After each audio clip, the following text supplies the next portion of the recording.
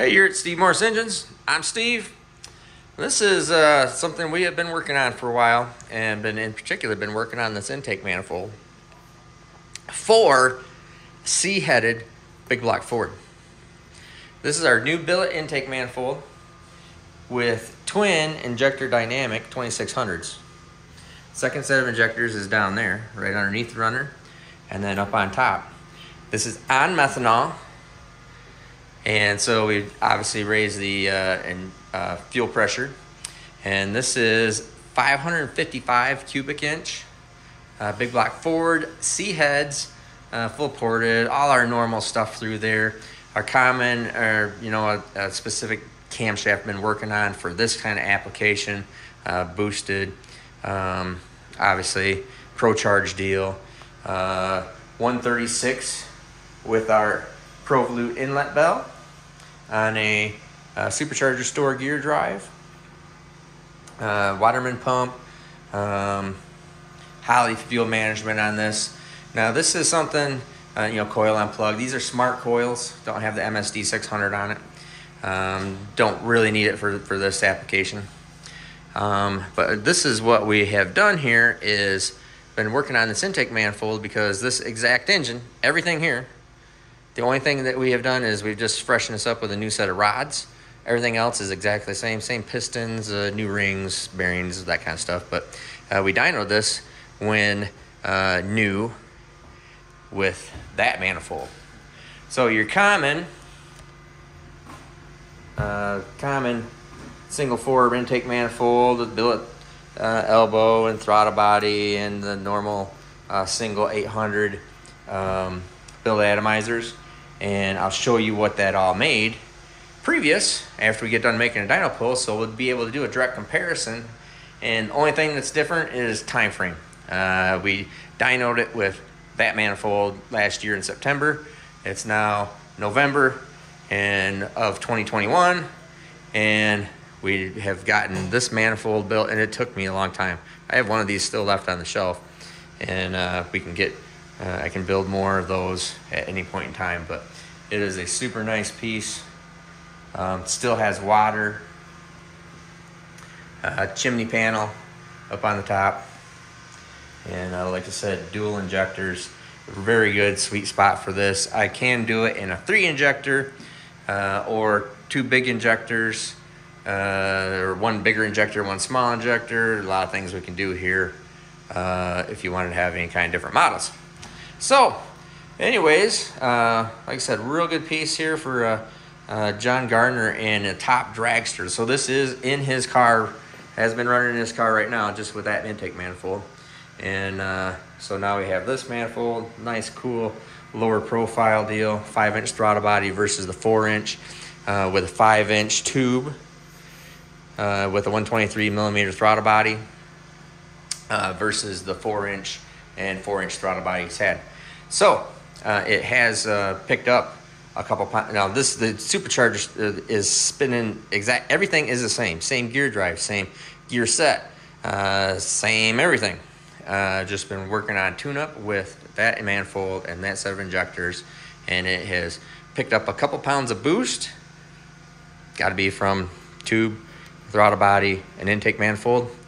Uh, just breathing better because blower is exactly the same. but it is the same blower, and uh, um, obviously, and then everything else is really just solely testing this new intake manifold.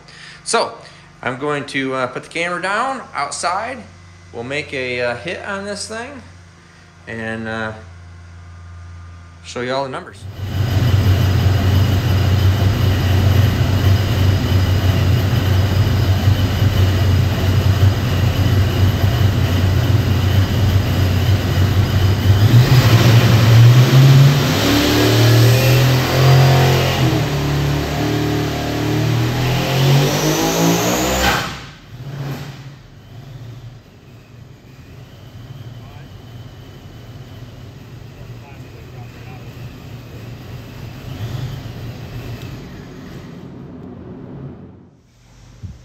All right, let's take a look at numbers. Pretty good piece, obviously.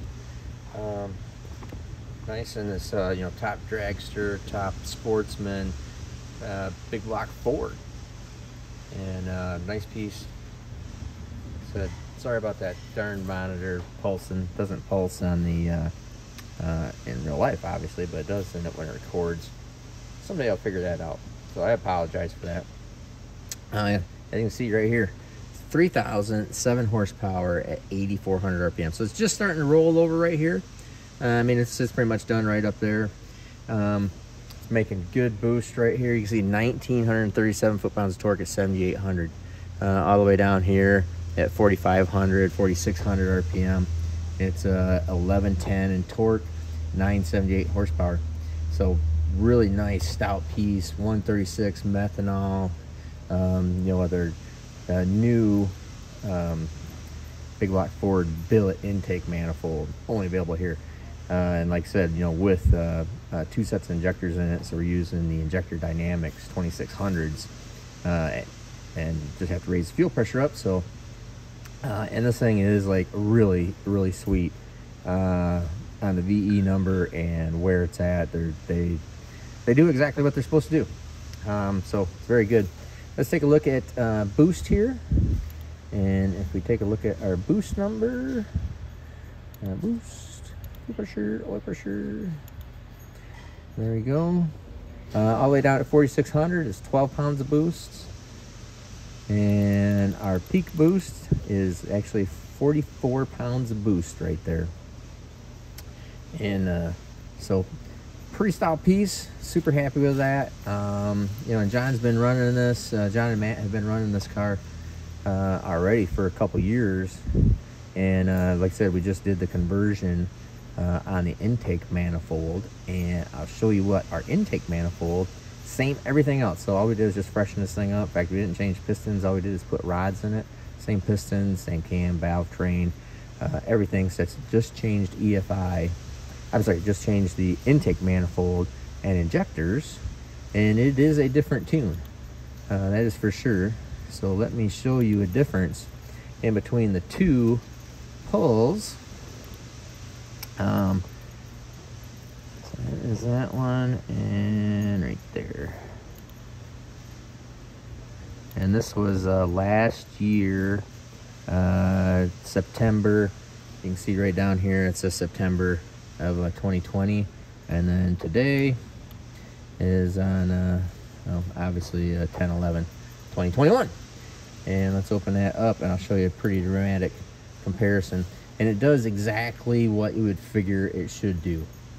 Uh, anytime you go into here and you can see the green line is previous and made previous uh, peak horsepower. It was maybe it would have went up a little bit right right here is a 2773 so it's basically 2800 ish if we would have ran it out just a little bit more but it was really started roll a little bit earlier and what you can see is the normal deal uh, a, a, big Plenum short runner intake manifold uh, specific for boost like what I build these things for.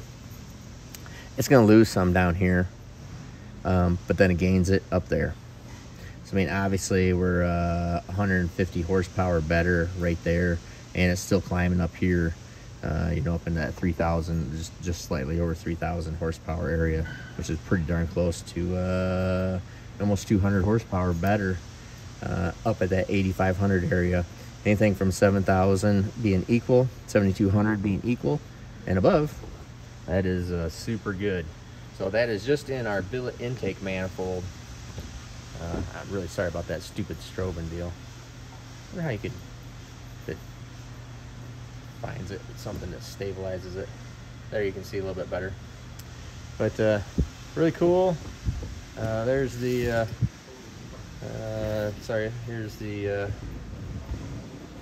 data log. Like I said, 44 pounds of boost. Tune-up's real sweet.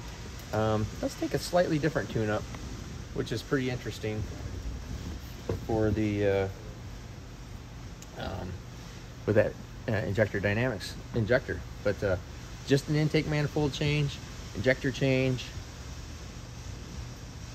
over the cast single four barrel manifold. Uh, that's quite a pickup. So, anyways, everything's looking good. This thing is ready to rock and roll. I'm Steve Morris. Have a great day.